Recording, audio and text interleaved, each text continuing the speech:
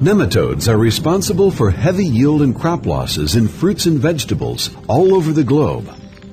Tiny eelworms, like the root knot nematode, live in the soil and the larvae attack plant roots. Nematodes penetrate the root, start to reproduce, and cause root galling. They suck water and nutrients from the root system. Infested plants